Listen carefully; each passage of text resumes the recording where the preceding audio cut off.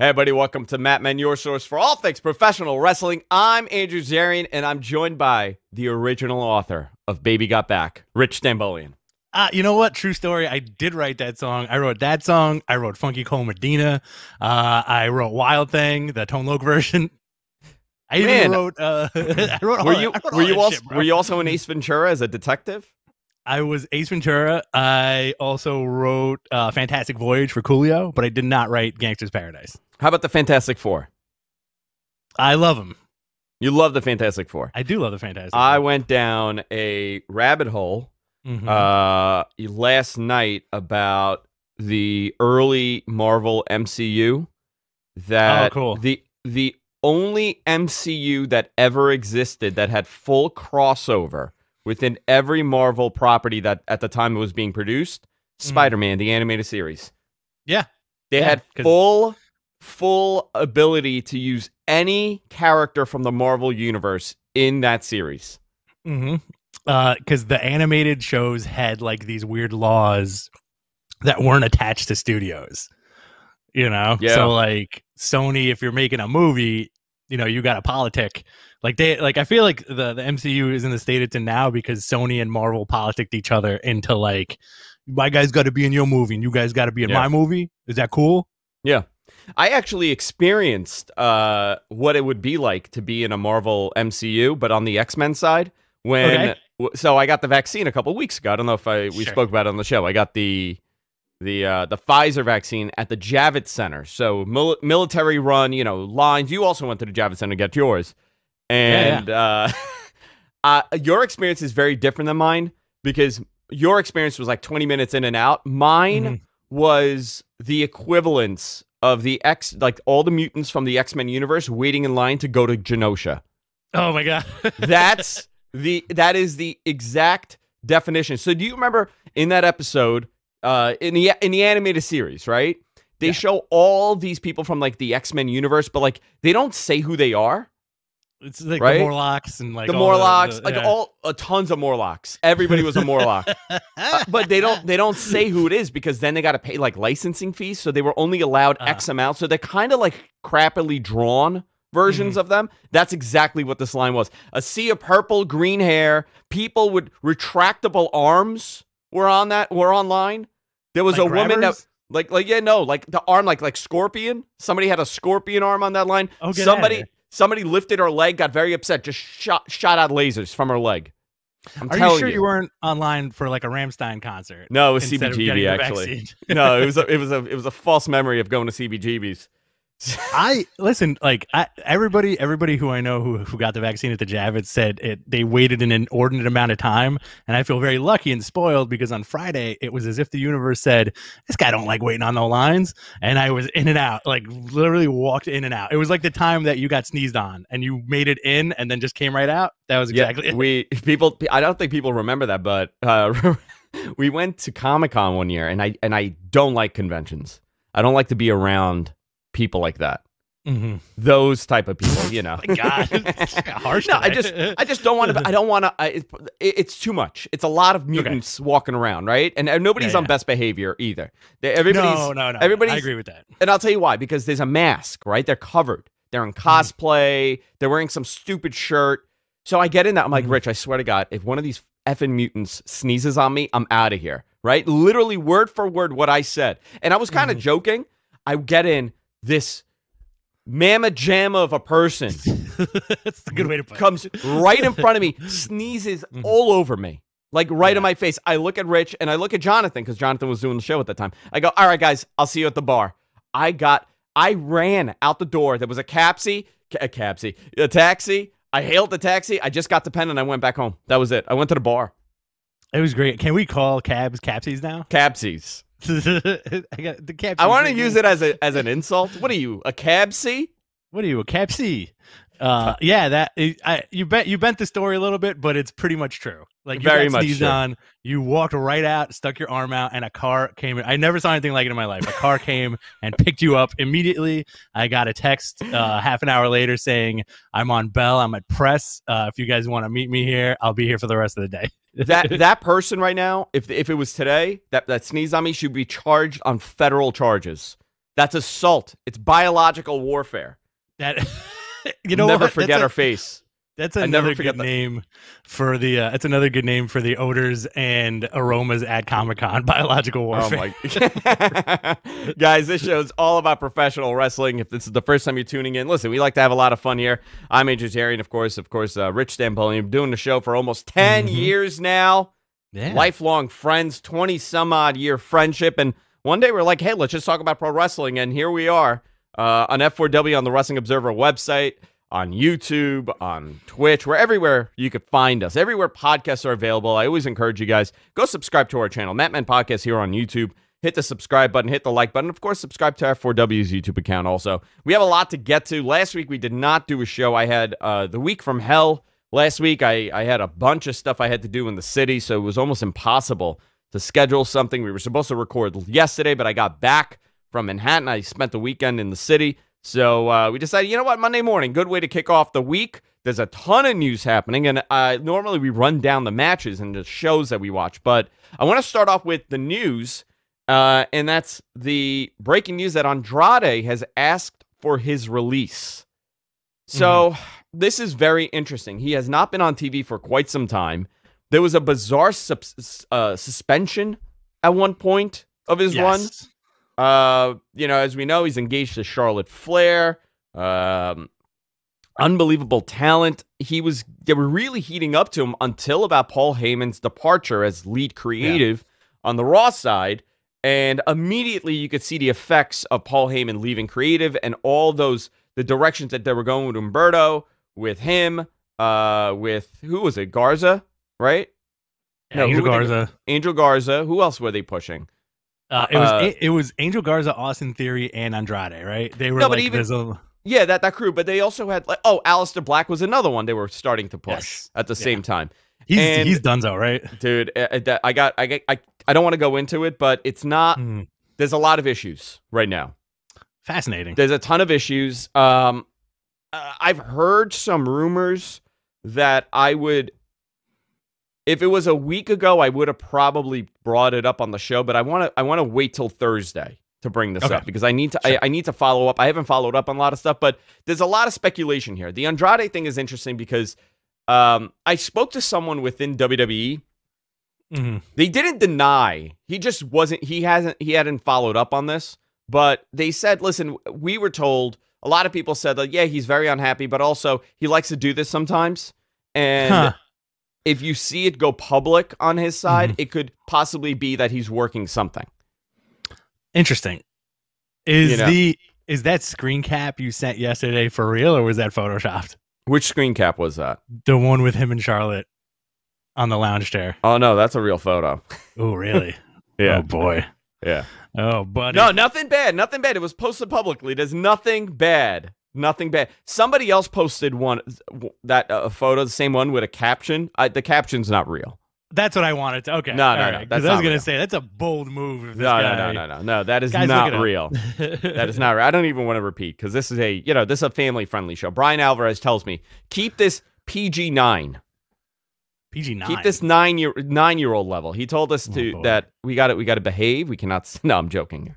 Um, I I I don't know what happened with that guy because man, you know what? What a good looking guy. Yeah. Great look, great look on him. Great hair. I always say the magic is a great body, great hair, and great tan, and this guy completes it and a phenomenal worker. you know Um, what? I will give you my two cents on Andrade. Tell me. You ready? Okay. So the I'm, I'm going to go in a little bit of a circle, but I feel like his, and this is from my perspective, Okay. the way WWE works, right? Perception. Andrade, as amazing as he is, I feel like they, if he gives them guff or trouble or whatever, they can say, "Listen, you know what? We're going to grant your your release. We have Santos Escobar, and that guy is gold, right?" Santos says, yeah, he is. But Andrade was gold too during his last run in NXT. Remember how great I he was? think I think it's the English speaking thing where like Santos Escobar, that guy's cutting better promos in English now, right? Yeah. Where I think if I think they wanted that for Andrade and they probably would have no qualms to say like, hey, listen, like we're gonna cut you loose. on the other side of it, you know, like look what they did with uh, Mystico, right? Where he was Sin Cara. They were like, hey, we don't need you anymore, but we do like the costume. So we're going to put somebody else in the costume. See you later. Yeah, I don't, you know, I, I think Andrade has more presence, in my opinion, than Santos Escobar. There's something, there's, uh, there's present. Also, Andrade had a five star match in NXT, according to MG yeah. Geek. Yeah. Um, I I feel like I don't know if it's if it's has anything to do with Charlotte. I mean, listen, you don't want to speculate here, but obviously he's right, unhappy right. with his positioning. This guy uh, was promised the moon, and he really didn't do much. And they they Zelina's gone, which was a big part of his act. Yeah. Um, you know that that that that takes away from it and they, they were saying that they were going to put charlotte and him together at one point and obviously Mhm. that's always the kiss of death because charlotte will overshadow him Yes. same thing with becky and seth we, we saw what happened with becky and seth and that did not work out well nobody really wanted to see that because yeah it was cringy because their their, their characters seth is vile you know even when he's a baby face he's still vile you kind of like that in him and Right, becky right, became right. Becky became such a strong character on her own where you combined the two and it removed every piece of importance that they had. it was i i saw that as like it it, it just made it just it perceptively it came off as seth was a little bit emasculated in that whole thing that they did Yeah. But so that could just be the office breaking balls you know it could be that. Uh, listen, we we've discussed uh you know in detail some of the stuff that's been told to us by writers uh especially from that that first SmackDown episode on on Fox where Seth blew a gasket because Mhm. Becky's promo uh was kind of overshadowed by The Rock. You know, this is coming Right, from a right. writer. Like I I'm not even th- th- and you know s- s- same source that's told us a lot of stuff like a lot of people they don't want to deal with him because he's difficult but the same goes for a lot of the women on the roster too remember he he kind of broke down Mm. um you know why certain women have been able to be in a prominent position and he perfectly said it's because of their their willingness to argue and tell you that this is dumb and they're not doing it listen you got a politic right where by the way a lot of the guys don't do it as much you Mhm. know and he, he he was actually it was very interesting. He said that the women are way more vocal in the company when something is stupid and he was agreeing with them by the way. He wasn't saying it in like like ah they're they're they're being annoying. Uh, Yeah, yeah, yeah. that the women are more willing to tell you straight to your face i'm not doing that. That sounds really stupid and it's going to hurt my character.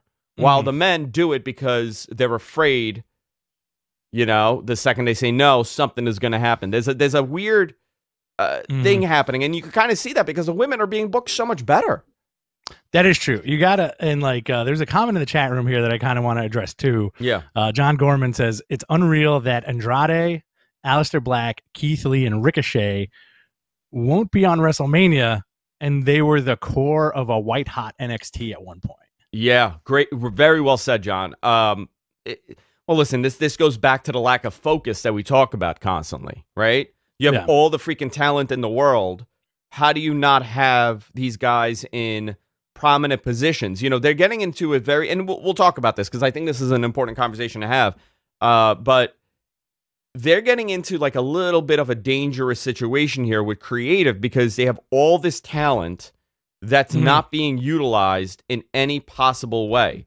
They're doing they're doing a Right. great job at focusing on one or two or three guys, but when you talk Right. about the mid card, that's your bread and butter of creating the next level. They've abandoned it. It's kind of a mess. It, it is a mess. And it listen, man, 40 some odd writers or 30 some, whatever the hell you want to say, plus uh agents, plus Mhm. the old man, you know, it- everything gets twisted. You know, you got a guy like Ricochet. Keith Lee, you know what? I'm going to tell you something, and this is very unpopular. I get why they don't get Keith Lee. Okay. You know what I mean? Like, I'm not agreeing with them, but I understand why they have an issue with him because he is not the traditional big man. And Hmm. when you get that in their hands, like, listen, Vader, Bam Bam, not the traditional big man, right? They were very agile, but they still were the big man. Keith Lee wrestles like a guy that's way lighter than him and way more agile than him, but it, it's his style. It works. Right. And That's they don't know what to do the with that. dance. That's Listen. what brought him to the dance to begin with. Andrade, no excuse, right? No excuse. Mhm. Aleister Black, no freaking excuse. They invested so much work into this guy, and what did they do? Yeah, man, one of the coolest entrances like of the of recent memory, right? Hard hitting, tough guy. You know, And they when, made him a when he was, and he made they made him into a freaking angry pirate. So there you go. Ricochet, nothing, nothing, zero. It's So- bizarre. it's it's bizarre. It it it really like perceptively it really makes you think about like that singular vision that exists at the top of the food chain, you know, where it's like if this doesn't fit the vision of what I want, I don't really care for it, you know? And that vision is generally yeah, your your bigger dudes, you know, like your Romans, your Brocks, your Drews, and you know Bobby Lashley too. You know, and But- it's yeah. not a knock on them at all, but it's like that singular tunnel vision of like we need to show them like big muscle, tough. By the way, champion, that's you know? fine. You, could have both, right? You could have both. Why isn't?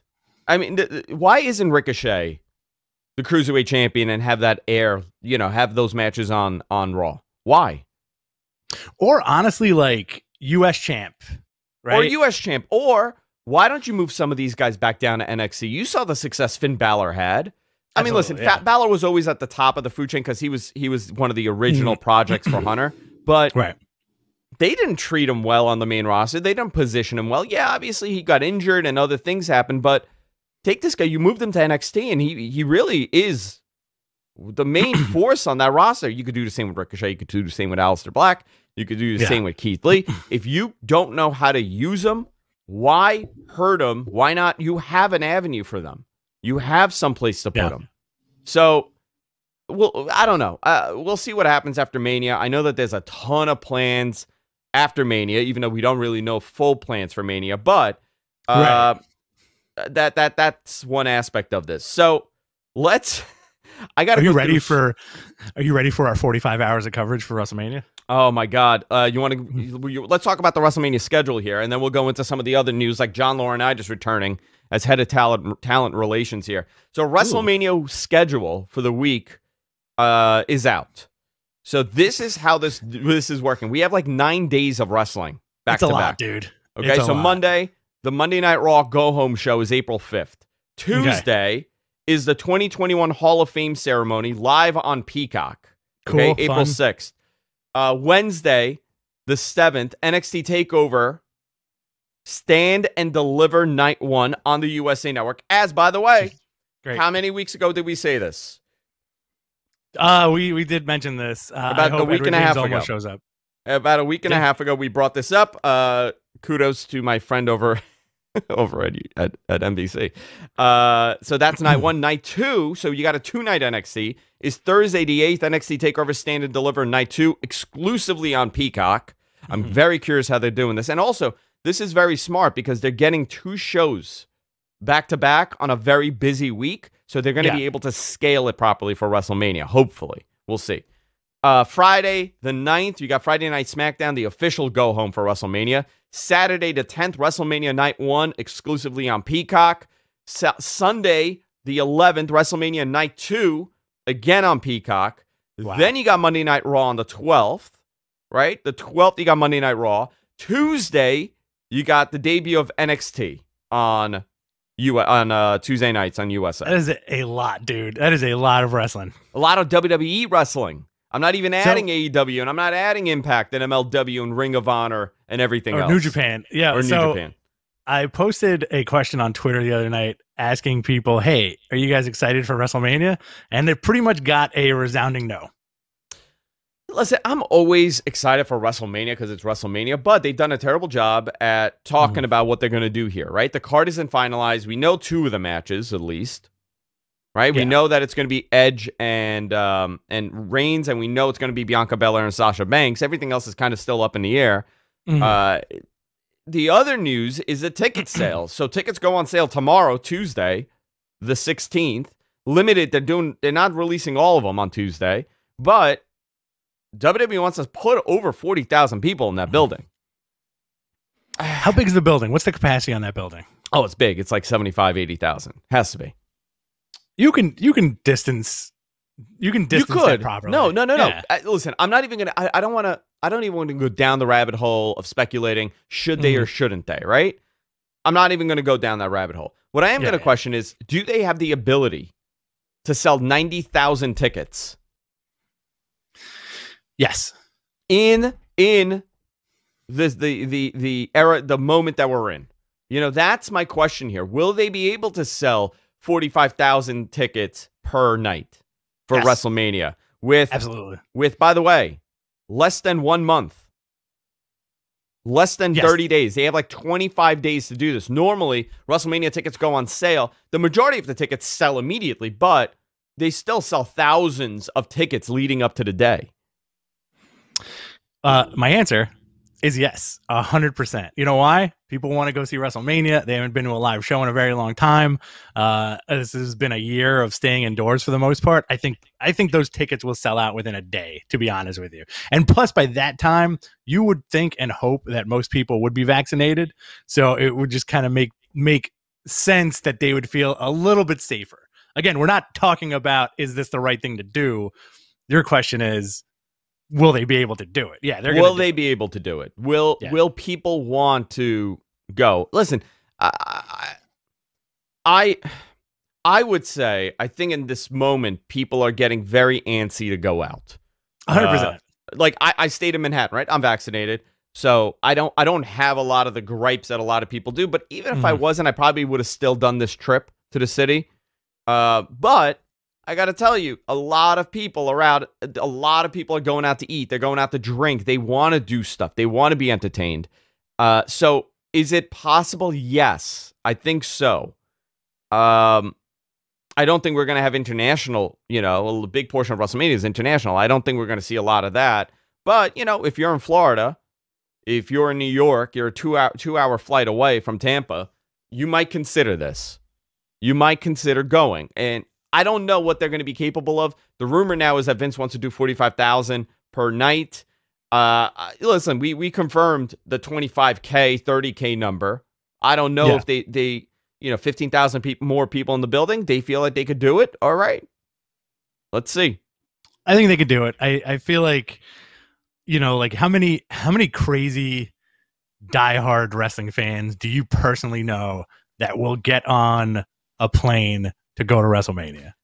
In a normal situation, many. I, I don't Mm. know. I haven't gauged this. I, I think that's a good question. And tomorrow will be a great indicator when we see the tickets go on sale and, and how Yeah, people yeah. react to it.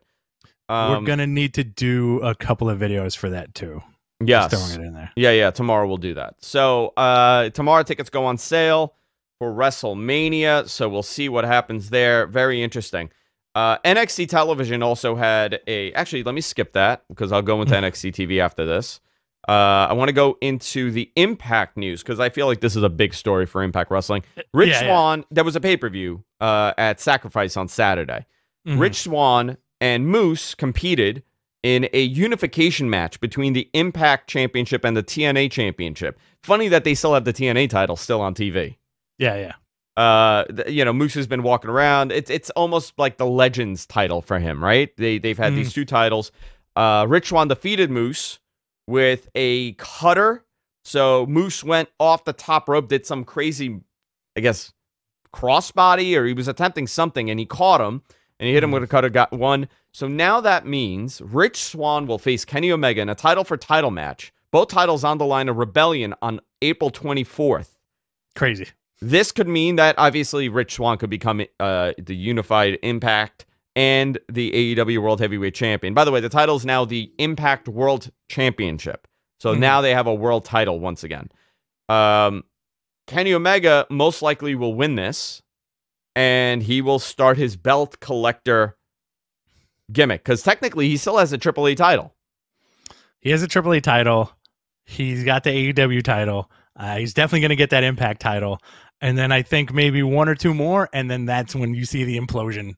Everything Kenny start falling apart. Yeah. Yeah, Also, uh, FinJuice defeated the Good Brothers to become Impact Tag Team champions champions at Sacrifice, meaning we're gonna see the Impact title in New Japan.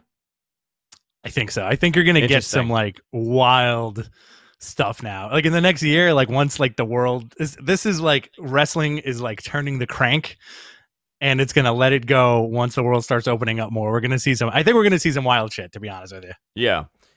Um, excited for that. I think that's very interesting, and I think it's great news for Impact because you could tell that the ratings have been better. Um, Mhm.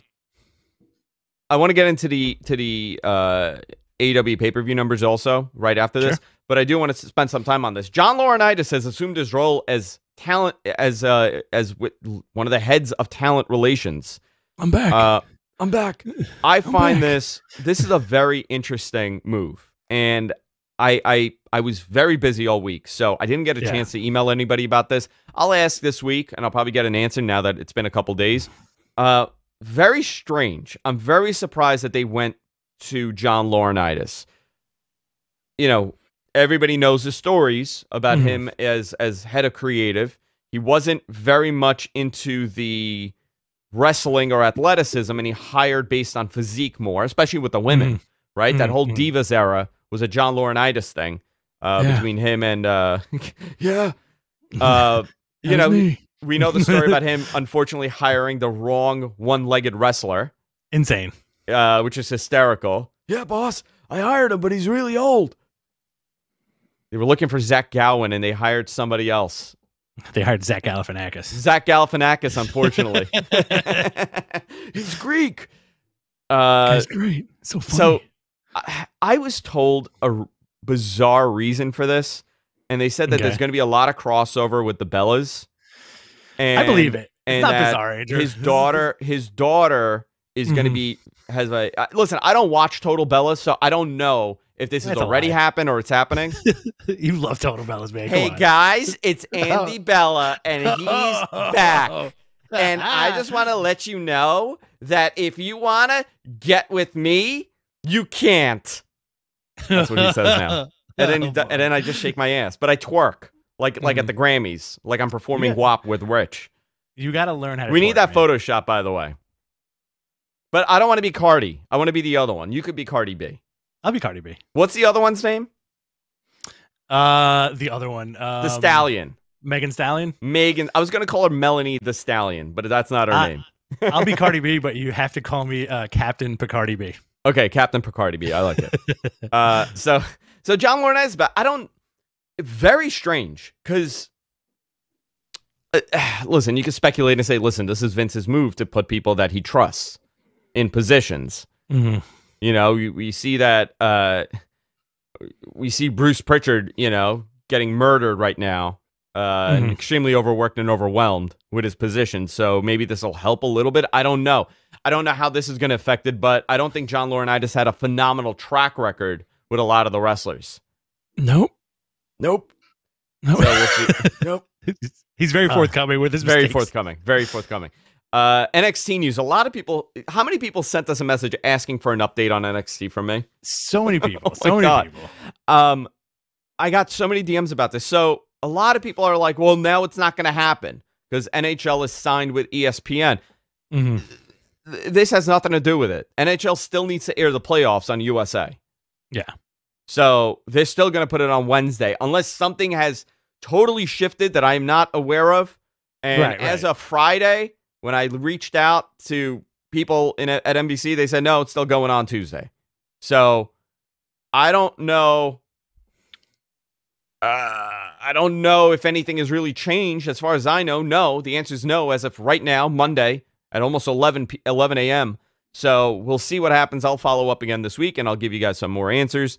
And uh, Peacock migration starts this Thursday. Most recent content will go up first, obviously, but the archive content will be available before SummerSlam. So they're going, they're not migrating properly. I don't like how they're doing this migration. Um, because they are not migrating, they're starting over. It's not really a migration. So Okay. initially, I was told the plan was there were two scenarios here, right? One plan was to have everything migrated automatically. You just log in with your WWE account and you're done. It's over, right? You're logged in. Now you need to create a whole separate account. WWE Network gets out. They're gonna phase it away. They're not. Uh, they're not doing this other other thing that we we thought they would do. The other option was to have some sort of when you go to WWE.com, it just redirects you with a peacock logo on the side. Yeah. It's like it was still going to be what you think of the WWE network until they got their their shit together. That's not happening either. But the WWE network is still functional 100% outside of the US. Okay. So It's I very would confusing. Be, I if if I were to do this, I would for example use a friend's address in the UK or somewhere else Mhm. or use their WWE login information because I don't want I don't like that I don't have access to my stuff. Or a VPN. Where the hell am I going to watch Mid South Wrestling daily Mhm. In a very seductive and sensual way, might I add? I, I I have a thing for a young Jim Ross, so what can I do?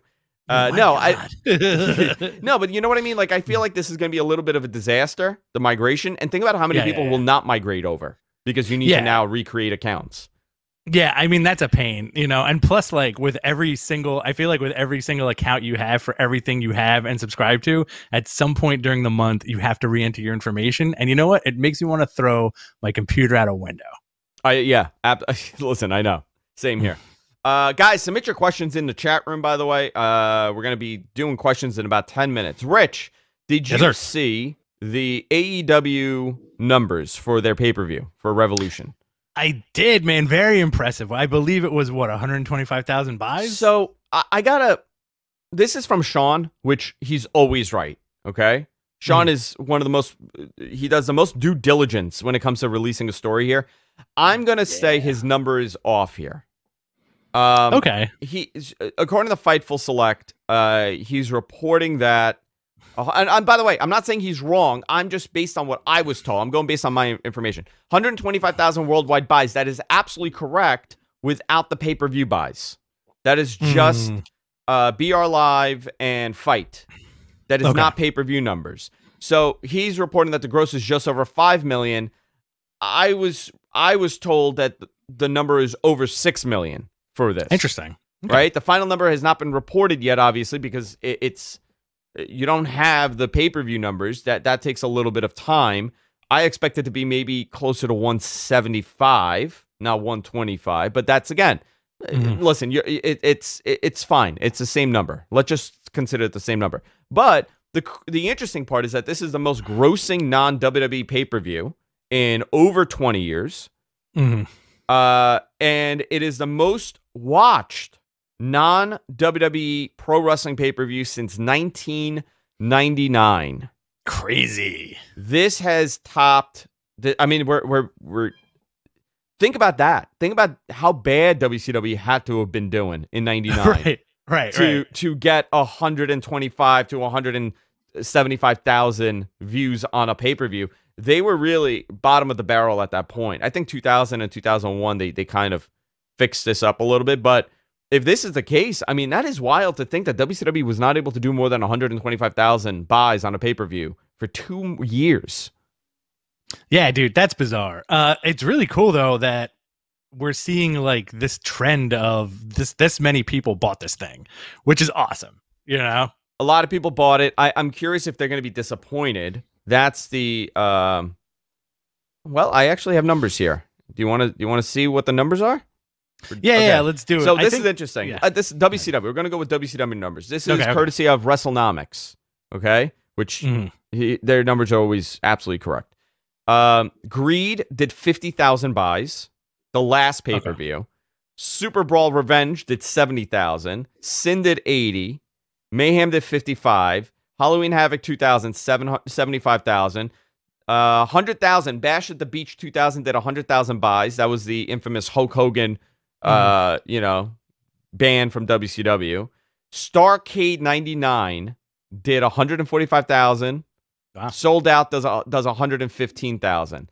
So Stargate 99, Stargate, Star Starcade 99 is the last 100 uh, the last pay-per-view that did that kind of number. Wow, and that's And 21 they years beat ago. Souled Out. They beat Souled Out 2000. So it looks like they beat they beat um Starcade 99, yeah. 145,000. The one before that did 200, 230, 130 for fall brawl. It seems like everything fell apart in 2000 Yeah, for everything. for everything, yeah. So very interesting. Were you disappointed that you had to pay for the AEW pay per view? No, no, I, I was fine with it. A lot of people were though. A lot of people a lot were of very people- disappointed. A lot of people were upset that it's fifty. It was fifty bucks. Do you know what the most ordered pay per view in WCW's history was? Starcade ninety seven. Yep, seven hundred and fifty thousand buys. I was the right. Same, the same as ECW One Night Stand one. Oh, that was such a great pay per view. I'm sorry. I'm sorry. No, no, I'm wrong there. I'm sorry. Invasion pay per view. Same as the invasion. I was close though. Same as the invasion. So, uh, big news. I mean, I think that's phenomenal. Now, now it's a matter of are people going to be disappointed with the reveal and with the um the the ending to the main event? I don't know. That's to be seen. It, it, it was a dud. It absolutely was a dud. Mm. They did a good job on on on AEW at attempting to address what happened. Well, I think Mox got ahead of it with his end of the night speech, and then they rolled with that. You know, because Yeah. after the show went off the air, he was saying that Kenny Omega is not a good bomb maker, and they furthered that with Tony Khan saying something, and then going into the whole thing that happened on Wednesday. Listen, I appreciate the fact that they didn't they didn't make they didn't patronize the fans right they didn't Yeah. make they didn't go business as usual they didn't blow it up to be the greatest thing in the world uh i feel like you can't avoid that comparison with wwe like if wwe had a dud they'd make you think it was like the greatest thing that ever happened Yeah. like forever you know Yeah, well, I mean, they did acknowledge it, and you're right. He did get ahead of the story, and, and they Mhm. really went with it. So Tony Khan, so Moxley, obviously after the match said that this sucked, right? Pretty much, he can't make a freaking bomb. Uh, Tony Khan mentioned it in his Mhm. post interview, and on on the show, Eddie Kingston and Jon Moxley address what happened. Kingston implied that he had a panic attack, and he and he kind of had tunnel vision because it reminded him at the time that he was in Rikers waiting to be sent to prison. Mhm. And uh, he sat in a jail cell, and they were going to send him to Rikers or they were going to send him to Sing Sing. And he had this panic attack, and he didn't know what to do, and he just just covered Mox, thinking uh, something bad was going to happen. At the end of the show, he came out. So, you want to break that down? What happened? Because you watched it live, and you guys were losing it in the chat. I had to watch it a couple days later. yeah yeah well i mean do you mean the, the kingston part where he covered him No, no, no. Uh, the promo between Kingston, Ma- uh, Kenny, Callis, and the laying on the oh, floor, on north south. Okay. yeah, Yeah. went oh, north yeah, yeah, yeah. So I I couldn't stop laughing. Kenny comes out with Don Callis and the Good Brothers on Wednesday, and uh, starts really leaning into Eddie Kingston, making fun of him. And I believe the phrase used was "69 me Don." North South fun- position, north south position, 69 me Don. Making fun of how Kingston covered Mox. And I was like, you know what? What a great way to turn the tables on the Dud explosion and to make fun of these guys. First of all, I can't believe they said it. I can't believe he said Yeah. six to nine me on on TV. and on a Don got up wrestling to him. And Don actually Don didn't, and then Kenny shimmied him on top of him. so I have a I have a question for you. Yeah.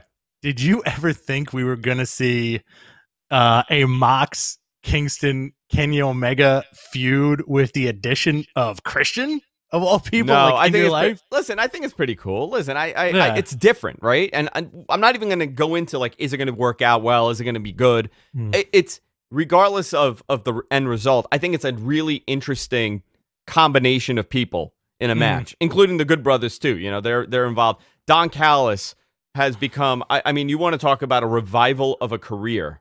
I don't think Oh, for sure. we, I don't think we've had anybody. I, I mean, obviously, someone's going to find it, but uh, Mm. it's a rarity in pro wrestling to be in it, then have all these opportunities in front of you. None of it happens really, and Right. you just revive your entire career uh, on a fluke, really. Because Mhm. the only reason why Don Callis came back into wrestling is because Steve Corino had to went to WWE Was it Corino? because it wasn't Corino calling the New Japan stuff. yes. right? He Yeah, was calling. Uh, he, uh, somebody correct me. I know. Listen, I know he was doing Ring of Honor, but I believe Corino was on the New Japan stuff, and maybe I'm wrong. I think. how did Don uh, Callis get involved with New Japan? Someone, uh, I, I'm almost 100 percent this is how it was. I think it was Kenny. I think it was Kenny saying, "Hey, you know, why don't you come and do commentary over here? We're trying to do this American expansion." But I don't think Kenny knew him. I think they. I, he told Don Callis was on. Uh, I think Jericho's podcast uh, about a month ago, and They he knew told of the whole story.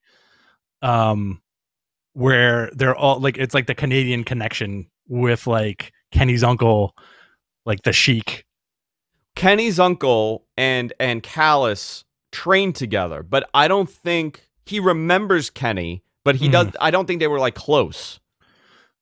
But know what I think it, it was either Jericho or Kenny that that brought him on for commentary. It could have been Jericho, That got yeah. the that got the yeah, that got the ball rolling. Yeah. So, uh, very interesting. I mean, it, how how things happen. But this guy, Mm-hmm. you gotta you gotta really give it up to him. He he's such a talent. Very under recognized in his ECW run.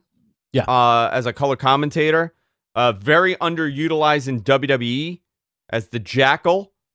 Uh, Yes. Can you believe that this whole guy's career would have taken a whole different turn if he had signed that contract with WCW to be Rick Martel's tag team partner? Pretty crazy. Pretty it's, Actually, it's no. crazy. in WWF. He was supposed to go to WWF as Rick Martel's partner, right? It's it's pretty crazy how like some like stuff happens like this in wrestling, and then you know like twenty years later you get not not even a payoff, but you get like a crazy resurgence, right? That doesn't I- happen in any other sport. You know, there's a trend on TikTok which I want to I want to do on our TikTok. Mhm. By the way, TikTok, Mat Men Mattman Wrestling, Mat Men Pro Wrestling on TikTok. You can follow us there. Uh, Jonathan does some great work there and puts up a bunch of clips and a bunch of funny stuff from the show.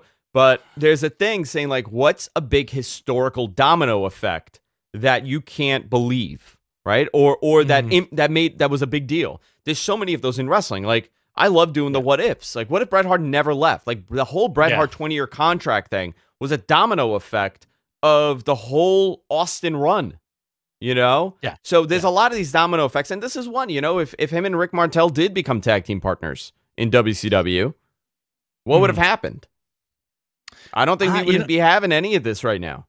I agree with that. I also I think it's a lot of fun to do that, especially and we always go to like the modern day of like if Cody never left and hit the indies with such vigor. I Cody? feel like we yeah, I feel like we wouldn't really have a lot of what we have right now. You know what? That that is a domino effect that I'd love to spend more time on one day. Uh, Yeah. Cody's indie run and his his because remember it was a temporary run. Cody did not want to wrestle anymore like that. He wanted he Mhm. wanted to get more into acting. So there was an article around the time that he left, and he's like, "Listen, I'm going to do these every now and then, but I'm not doing it for money. I'm doing it for fun and to help revitalize a little bit of wrestling." Putting me on a card, like remember he gave that guy money, the money back to buy a ring because a ring was broken, so he bought him a ring. Um, it was more Yeah. charity work on Cody's behalf, but you know what? He had to relearn how to work a non WWE style, and he did a great job with it. Well, he made that list too and stuck with it. He did stick. you know, it, like yeah. the dream list of opponents and then meeting the Bucks and then uh oh meeting Kenny and then doing the Bullet Club stuff and that spiraling into like what we have now, the bet with Meltzer and all that. You know, it's very fascinating the trajectory of like this one dude who's the son of the son of a plumber. yeah, yeah, very interesting stuff. Um, what do you want to Oh. touch on, Rich? Well, we, we also have uh, the premiere of AEW Dark Elevation tonight with the Big Show on commentary. Well, Paul White, Yes. the Yeah, former Big Show. So right now we have three AEW shows, and Mm-hmm. with a fourth one in the works Pretty fascinating. Man. because How there's going to be another feel? one. Are you going to watch tonight? Are you going to watch the AEW? I'll watch. Dark. Yeah, it's on YouTube, right?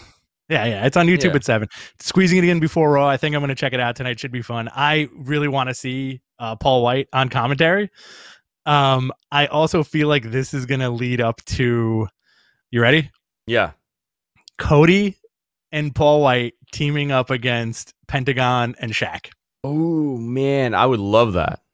I think we're gonna. I think I have this weird feeling that th- that's the match we're gonna end up getting. Is Shaq going to do this thing? Is he going to do this thing? yes, whatever that is, he's gonna do it. This thing? Yeah, he's gonna do that. Is that, isn't that what Penta does? He goes like this.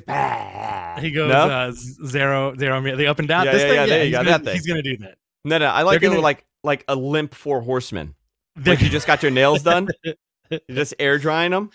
I'm telling you, man, Shaq is gonna come out dressed like Penta at some point. Oh my god. you know what? I would I would eat I would eat my shoe. cheeseburger. I would eat I would eat my shoe if that happened. I would love to see Uh, it. I feel like that's. I'm. I want you want to manifest a relationship with David Arquette. I want to manifest seeing Shaq in a full blown Penta Zero Miedo outfit. I love it. I'm into it. I'm into it. Uh, SmackDown. Uh, a lot of stuff happened on SmackDown. It was an interesting SmackDown. You know, they're they're building the story for Sasha and um, they they finally started doing it Mhm. for for the title match. But what's happening with Daniel Bryan right now? That's a good question. What is happening with Daniel Bryan right now? Is he getting a title Is match? staying? Is he getting a title match at WrestleMania? Uh, yeah. Let's say yes. With who? Let's say yes. Uh, I don't know. Bobby Lashley. You know, uh, you know what? I, would, I got I got to talk about Bobby Lashley and, and the Planet of the Rocks uh, because this guy is unbelievable. Um, so next week, Edge versus Jey Uso. Winner is a special enforcer for the Universal Title match at Fastlane. Uh, Jey Uso is wrestling, but Jimmy is coming back like now. So most likely he'll probably there's a pay per view this Sunday, boys and girls. I think a lot of people don't remember that. Is there really? There is Fastlane is Sunday. Oh boy. By the way, we'll be live doing a watch along on Sunday. Uh, I don't know if we're going to be doing it on our channel or we'll be doing it on the F4W channel. I'll confirm that and we'll announce it on Thursday, but we'll be doing a watch along for sure. The last pay per view before WrestleMania. Uh, and how many matches do we have here? Here we go. You ready for this? I'm ready. Let's go. So we got Roman Reigns versus Daniel Bryan for the Universal Championship. But man, what a what a great! You know what? If you want to do that Roman Reigns Goldberg match, just gonna say, if you want it to mean enough, but not in a title match, this is how you do it. Mm. Or what if you have Daniel Bryan beat Roman Reigns in a weirdo finish, which I don't expect them to do that. I think what's going to happen is Jimmy Uso is going to come out, cost Daniel Bryan the t- championship, and now you have Jimmy Uso part of the crew, right? Okay. But if you were to take the title off Daniel Bryan, now you got a. Daniel Bryan and Edge match. You could possibly do that. Roman Reigns and Edge, you can still Reigns. do. You can incorporate Bill Goldberg because I know you want to use him, right? They're dying to use him. You could put Bill Sure. Goldberg in this match somehow. There's a lot of moving parts, so fine, whatever. Uh, you also have Nia Jackson, Shayna Baszler versus Sasha Banks and Bianca Belair. This is when you're going to see the flip happen, right? Mhm. The full Mhm. turn. Absolutely. Apollo Apollo Crews versus Big E for the Intercontinental Championship. That is what is announced so far. Uh, are you looking forward to it? Eh, not really. Yeah. Also, everything you said about the Daniel Bryan Roman Reigns stuff happening, guess what? Not going to happen. it's not. know. It's going to be. It's business as usual until WrestleMania. Edge beats Roman. Uh, Edge Well, gets what the if- title. What if Roman wrestles two nights? What if that title is defended two nights? Listen, I would love that, but judging by how uh, poorly booked and uh, the perception of WWE, I have again low to no expectations from anything cool happening with any of this stuff. I hate I know to it's say it. unfortunate. It's really unfortunate. I do think Edge is going to win though, and I think that's going to be really cool. But they may also do business as usual. Edge loses, and then Goldberg shows up at WrestleMania to Yeah. challenge Roman for a, the future backlash or whatever. Yeah, Whatever's whatever, after it is, WrestleMania. whatever the hell is there. Uh, NXT had an interesting night. They had two big announcements on NXT. One Mhm. being that Stand and Deliver will be two nights, like we mentioned during WrestleMania Wow. week, and the 2nd Mhm. and this was, you know, I, I don't. So I was, I had seen these titles. Okay. Okay, I was told yeah. I cannot talk. I mean, they've had they've had these tag titles for God knows how long. Mhm. Uh, they were gonna use them earlier, and then they decided to wait till the Dusty Classic. Okay, The Dusty Women's Classic. the Dusty Women's Classic. But here's the problem: the belt wasn't totally completed. okay. I had seen the actual image, like like the the the CG image of this thing. I was like, oh, okay, very standard for NXT, works out. The Mhm. belt wasn't completed for the Dusty Classic. So they did this convoluted thing where they challenged for the for the raw uh, for the main roster titles, didn't get it, so now they were Mhm. presented. I don't know. They could have done something else with this presentation. They didn't have to just hand it over to Raquel and Dakota Kai, but they were announced the winners and they were awarded the brand new pair of titles Great. in a in a strange thing that I I mean I was very surprised. Mhm. Ember Moon and Shotzi Black are defeated the NXT Tag Team Champions Dakota Kai and Raquel Gonzalez to win the titles. Great. I I like that. I like that a lot. It worked out. I think it worked out, Mm. but it was it was weird how everything fell apart. I think this was always the plan. They just needed to jump ahead and get to it, which whatever it Mm-hmm. Happens sometimes. Uh, you also saw Io Shirai defeating Toni Storm to retain the championship. Um, I would I I think the story's going to be Io and and Raquel. Really? I think that's going to be the story here. Okay. Yeah. Jordan Devlin is also on his way to the States to confront Escobar in a Mhm. unification match, possibly a takeover. Because remember, you have two champions. You have you have Escobar, which is the interim champion currently, and you have Jordan Devlin, the actual champion. He just hasn't been able to defend the title here because of Mhm. the lockdown. So you have two titles, uh, two champions. I think it's pretty interesting. Uh, you could do a ladder match. You could do an awesome ladder match with these guys to unify I the think- titles. I think they're super talented, and you can definitely get something like really, really awesome out of like a Jordan Devlin versus Santos Escobar. I'm all about Santos Escobar, by the way. That dude rocks. Yeah, yeah, very cool. He's very good. Uh, also, we saw NXT champion Finn Balor defeat Adam Cole. Kyle O'Reilly distracted Cole, and he beat the crap out of him. Balor was in the ring looking on when he turned around to see Karrion Kross. and he Whew. said, what took you so long? Goosebumps. They Oof. book Finn. Finn might be the best booked person in WWE Great. right now. Next to Great Roman. ending. Look, I got look at this. I actually got goosebumps when I repeat it. I think you know it's moments like that. It's so simple, right? So simple, but yet it works. It's so effective. Less is more, and this was a great example of less is more. Uh, this is gonna be a cool match. I'm excited to see it. You know, they've been teasing at it, they've been building at it, and, and now we're gonna get it. And obviously, perfect time to do it during the takeovers. So, uh, you know, and you can start off hot on that first Tuesday with your new champion being Karrion Kross holding the title. You know, and figuring out what's diva. happening next. But you know what I do want them to start doing? The night Mhm. after that big WrestleMania weekend, I think NXT should have the same surprise appearances. Who shows Yes. up? Big Yeah. angles being created. I think they need to start doing that much like how WWE does it.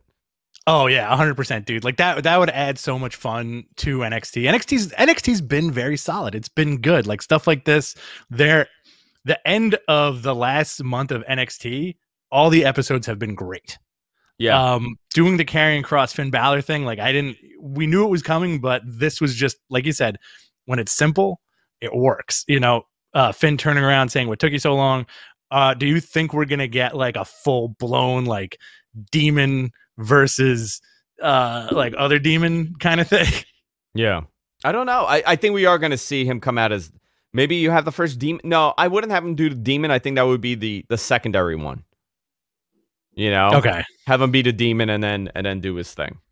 Or do like half of his face with the Maybe demon half his face? other I don't know. yeah. They could do something. We'll see. We got a month, right? yeah, we got a month. Uh, what else do we have in the notes? Uh, let's see here. Um, fast lane we talked about. Uh, I mean, we can jump into the questions if you want. A lot of the stuff I have here. Molly Holly, first 2021 entrant of the Hall of Fame, pretty cool. Yeah, very cool. Uh, yeah, I think we can jump into the questions unless you want to do the preview for this week's Yeah, yeah, yeah. AEW. Let's do that. It's like St. Patty's Day, uh, Slam. St. Patty's Day Slam. Stupid name. Let's see, what do we got here? Make it a massacre. St. Patrick's Mox- Day massacre. Mox and Kingston versus the Good Brothers. Can't Okay. wait. Wrestle Cool. Boner on Into high it. alert. Uh, Cody Rhodes versus Penta. Can't Cool. wait. Into it. Love it. I do like Penta in a suit. And last week when he came out calling out Cody in Spanish and English with Yeah, uh, I like Marvez that a lot. awesome. Yeah, that was was great. Uh, Jurassic Express and Bear Country versus Matt Hardy. I Private thought he was gonna. I thought he was gonna call the the baby that's due stupid. I don't care for your stupid baby. You know, I, I thought he would say something. Baby. Yeah, It'd be amazing. Imagine he starts Um, calling Cody a stupid baby, and that's his line now. It'll be so good. I'm and I can't wait for him to be like, oh, yeah, Cody, well, meet my new best friend, Shaq Cero Miedo. And it's effing Shaq, dude. With the face paint and the mask and everything. Full Pentagon makeup. I think he'd do Oh. it too. I'm calling you out, Cody, with my buddy Penta- Pentagon. Uh, Jurassic Express and Bear Country versus Matt Hardy, Private Party, The Butcher and the Blade. Uh, Jade Cargill will be in action. you have an unsanctioned anything goes match between uh, Dr. Britt Baker and Thunder Rosa, which Okay. I think is going to be cool. It's it's only it's honestly only a matter of time before either one of these gets that AEW uh, women's title. You know what? I'm looking at this card, and it's amazing how you could be excited for matches if you produce really good matches and post them prior to the show, right? Oh, like, what's the match? What are we seeing today on? What are we going to see on Raw? What are Who we going to see tonight on Raw? But even when they tell you the match, here's the problem: you don't believe the match. right, you know what I mean? Like Jon Moxley, Eddie Kingston versus the Good Brothers. You know what? I'm into that. I think that's a cool match. Cody and Penta, right? That's that's Mm. a really cool matchup that you really haven't seen much of. Right. If this match was the main event on Raw, I would tell you, oh, they're gonna go half. They're gonna go at half speed, Mhm. and they're gonna do some sort of bizarre ending that nobody wants Oh, yeah. to see. Yeah, yeah. Very so very interesting. Like if you saw, I I mean, just just even take this match. You, you got the Good Brothers. You got Gals and Anderson against Jon Moxley, and give me a WWE uh, against Dean Ambrose, and give me an equivalent to Eddie Kingston. Give me Uh, somebody. oh my god. You know, no, no, no. You need someone a little bigger. Let, let's let's go someone a little bigger.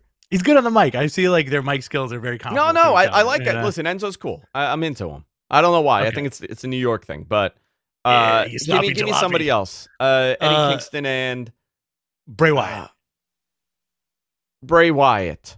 Okay, Like promo, somebody. I'm I'm going promo promo, promo, promo, Bray Wyatt.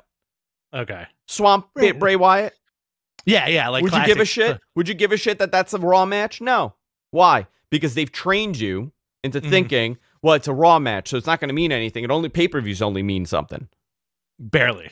Barely. So fascinating how we're talking about two matches on a show Mm-hmm.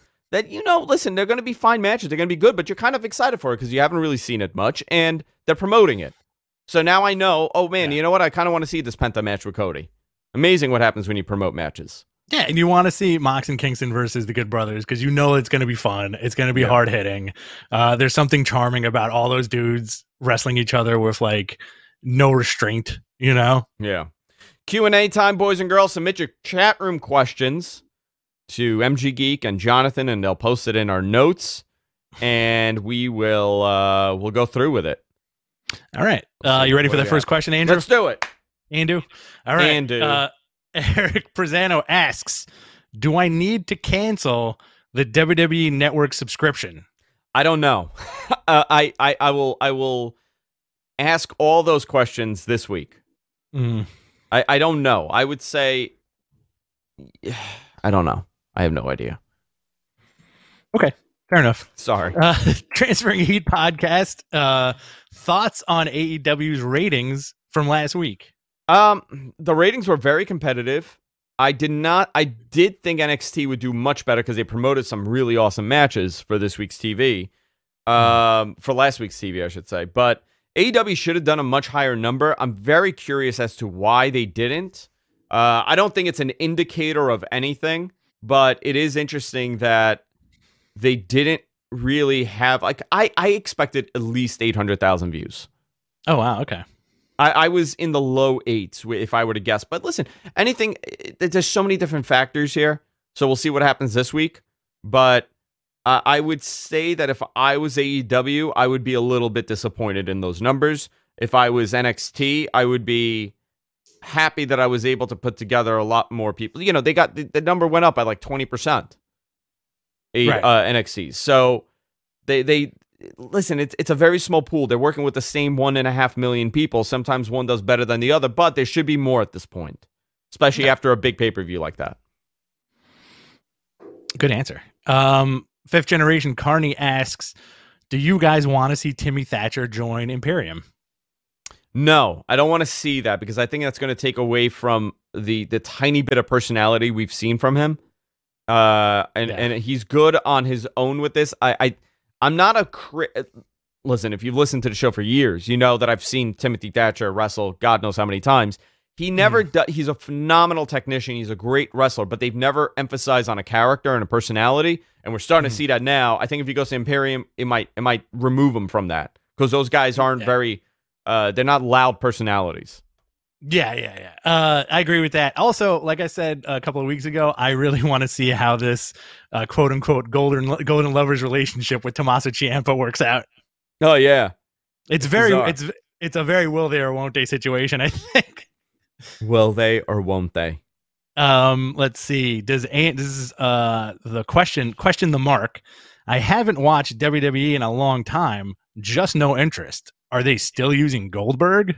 They used them a couple weeks, a couple months ago, right? What yeah. was it? About a month and a half ago, a month ago. So they, they he has another two matches mm-hmm. or another match. I can't remember if he has two or one, but there's another match coming. I just don't know where. Um, does Andrew know if the Hall of Fame will be pre-taped? That's a great question. Um, I could ask. That's a very good question. I don't know. I haven't asked. I would I would imagine if you don't have an audience there, then yeah, right? How are they? How the hell are they doing the mm-hmm. Hall of Fame? Are they going to do it like in a banquet hall like they used to with just the wrestlers? That'd be cool. That'd be fun. They could, you know, like honestly, they could do it in the Thunderdome and just you know have a stage. Yeah. And this and the speeches, which are fine. I always like the Hall of Fame in the full arena because uh you see yeah. like when the wrestlers pop for each other and all that stuff. Um, let's see what else do we have here. Would you have uh Karrion Kross destroy Finn a few times and then have Finn uh and that unlocks the demon for Finn? Um yeah, I, I could I could see them doing it that way. That they they got to get the demon out of him. But maybe maybe he loses and that, that that's what brings a demon out. You know, where it took the, he took this great beating from him and mm. uh he just didn't have enough so now the demon's back to to attempt to get his title. I wouldn't mind a cinematic match. You can do that in one match. If you have a cinematic match between Karrion Kross and Finn Balor, much like that Bray Wyatt match from last year, where they're two out of three falls. On the third fall, Finn is gone. Uh, Karrion Kross has to look for him. He's backstage. He's somewhere. He's somewhere dark. Yeah. Maybe the boiler room. Always Who knows? Inside a cave. Always a boiler room. And then you see the demon come out, and that's the return of the demon for like a little bit. You don't need like all the pomp. I think what hurt the demon was that it killed so hard with the live crowd that they overused it. Ah, interesting. Because uh, when he was doing it on NXT and all those takeovers, it was a fun thing for the NXT fans. You know he came out as Jack the Ripper, he came out as Leatherface. You know, uh, I think on the main roster it was like a little too polished, and it kind of took a little bit of steam away from him. You know? yeah, yeah. I think it was a little too polished. You're right. Uh, is Capital is from Derek, our buddy Derek. Uh, is Capital Wrestling doing anything these days? Catalyst Wrestling now. Uh, we changed the name, but yeah, we're running we're running uh, empty arena shows. We're taping like six to eight weeks worth, and then trying it again. It's been very challenging. I'll tell you that. Very very challenging. Here, um, I think this is from Mr. Gonzo or Mr. Gonzo. I'm not sure. It just says me. Uh, what's going on with last year's Hall of Fame? New class or repeat of last year? They're doing a new class and they're going to repeat of last year. They're doing both. Okay. So I don't uh, know if we're going to have like 16 or 20 Hall of Famers in there, but they're going to do. They're, they're attempting to do some this year and and all of last mm-hmm. year, which is going to be not that easy. We got a comment I'm going to yeah. interject a comment from the chat room yes. from Alexander saying there is not enough fabric in Jacksonville to make a Penta outfit for Shaq. I like that. Very true. Have you I'll guys watched Young Rock from Aaron Banks? Yes, I've seen the first episode. I've my wife and I really liked it, so we've like we have them not banked in our DVR, so we're yeah. just going to go through all of them. But I, I, it's a it's a fun show, really cute show it's a lot of fun. Um, it's it's very polished because it's NBC. Obviously, The Rock has creative control of it. I always get a kick out of seeing who the wrestlers are that they're using. Like I think the last episode we watched had a macho, had a Macho Man, a Junkyard Dog, uh, Andre again. I, I really like the the Andre on that show. No, he doesn't do that. That's that's what I wanted. He talks too much. He's too articulate. Uh, he has a little bit of the uh, big stinky giant accent. Big stinky giant. I think we got one more uh, right, question. Let's do it. Let's do it. Uh, from John Gorman. MJF turning on the inner circle was a great way to end Dynamite last week. Does this lead to blood and guts? You know what? They I know that they want to do blood and guts again. uh, or or do it right because they never got a chance to do it. So if you have, I mean, this would be the, this would be it, right? They got the new Horseman and they got the Inner Circle. Yeah. MJF turning, very good ending, t- very good ending. That was really well done. I got to it tell was it was fun. So how do you feel about like the five the five horsemen now? So you have MJF, Wardlow, uh, Shawn Spears, and FTR. Yeah, you got five with with Tully as their manager. Uh, how do you feel about that? What do you think they should be called?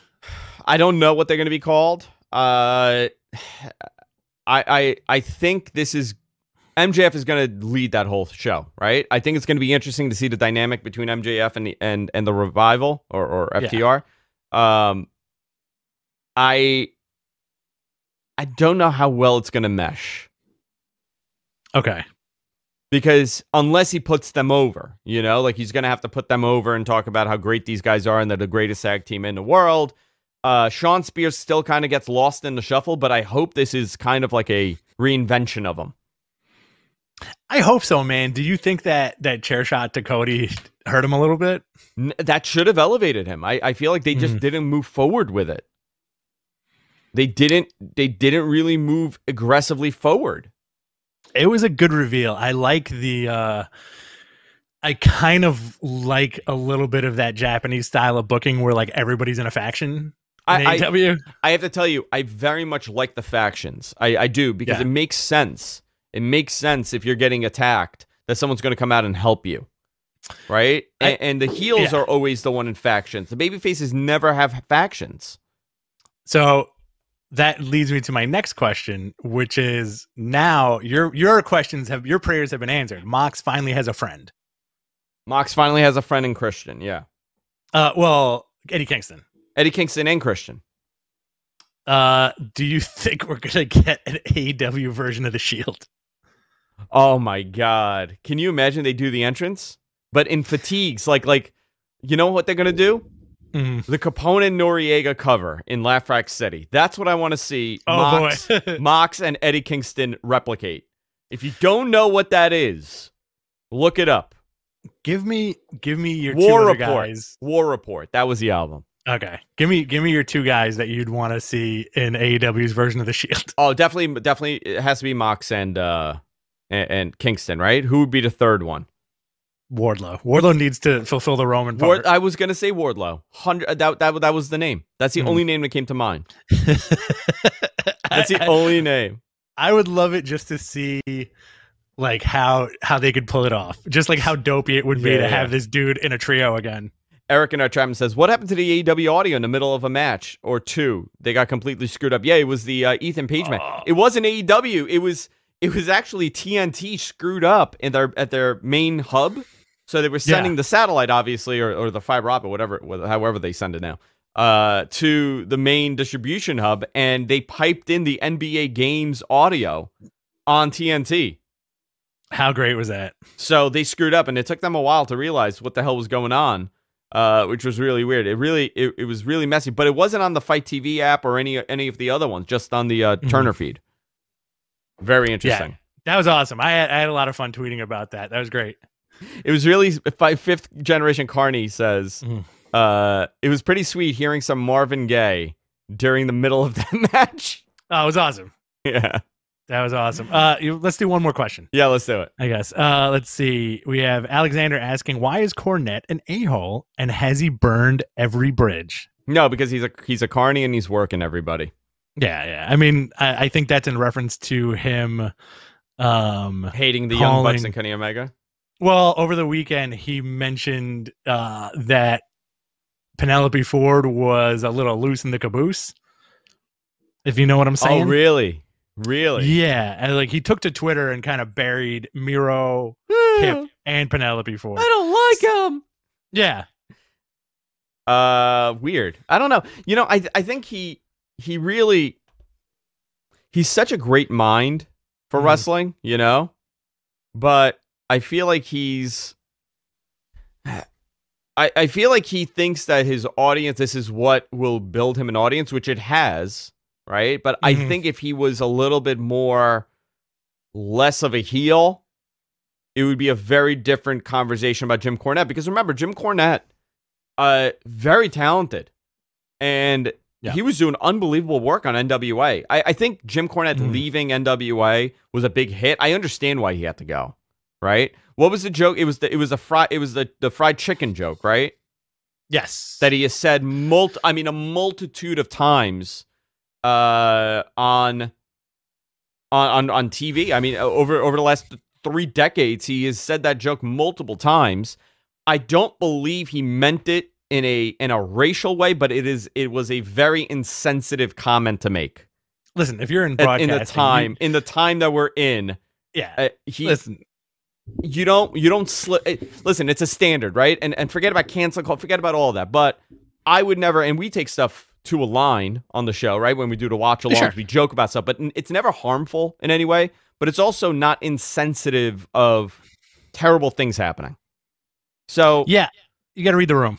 You got to read the room if you said it in 1993 and you've said it in 19 in 2003 and you said it in 2013 maybe you should think you know always reevaluate yourself that's all i'm saying i think yeah, he yeah, absolutely. yeah, it was a starve. It was a starvation joke from the '80s that you we've we've all heard five thousand times. Listen, am I offended by it? No, I'm not. Mhm. But I would also have a little bit more wherewithal to realize, like, I got to read the room. I got to realize what we're in right now, what's happening around me, what's happening in the world. Maybe that joke is not going to get over as well as it did.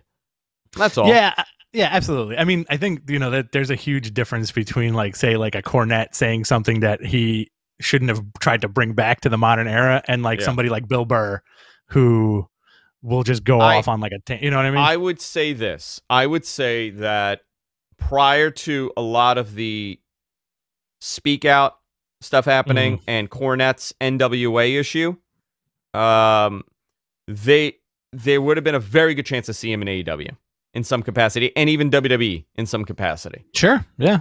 I think that they th- people recognize the amount of talent Jim Cornette has in wrestling. Uh, and I'm not listen. I and I don't I don't listen to his show enough to really know what he says or dislike or like him.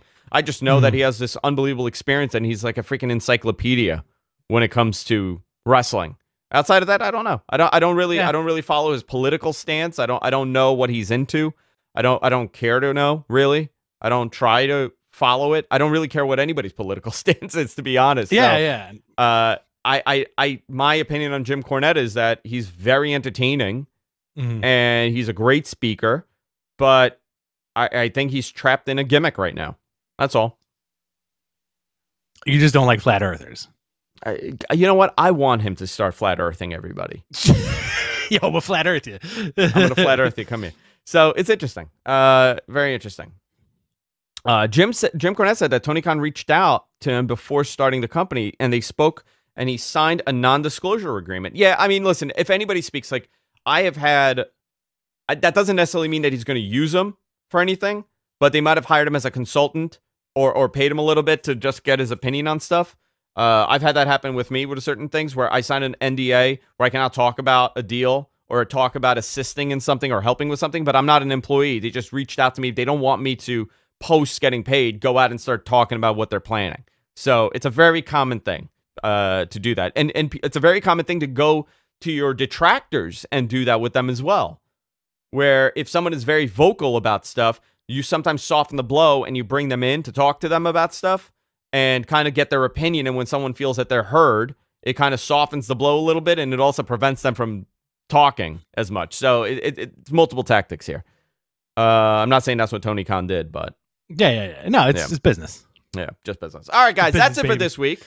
I got to get on the 1218 to Manhattan. hmm I'm going to work today. So we'll be back on Thursday with another episode of Mat Men, a regular Mhm. time, 11 p.m. Thursday here on the East Coast, live on YouTube, youtube.com slash Mat Men Podcast. You can go there. Guys, hit the subscribe button while you're here if you haven't already. Go to your favorite podcasting app. Doesn't matter what it is. Look up Mat Men Podcast and subscribe. Spotify, iTunes, Pandora, Pandora, we're on. Uh, Amazon, we're on. Anywhere you listen to podcasts, check us out there for all things rich. And of course, Behind the Counter 2.0's back. One of my favorite comic book podcasts. Rich interviews an artist or, or somebody from the comic book po- comic book world each and every week. releases them live on Saturdays. What else can you tell us, Rich? Uh, it's at BTC Rich X on YouTube, and as always, you can follow me at uh, BTC Rich on Twitter, which is mainly what I use to post my nonsense. So Mr. Gonza could start posting those also on GFQ. Uh, yeah, I got to send him the files. Yeah, and Suncast needs to set them up too, so we'll do that. Uh, and that's it, guys. You can follow me at Andrew Zarian, at Andrew Zarian on Instagram, Facebook, everywhere you, you could imagine. TikTok is Mat Men Pro Wrestling TikTok. Uh, what else? Twitter, Mat Men, Mattman Podcast on Twitter, and everywhere else. Just look up Mat Men. We'll see y'all next time, guys. Take care.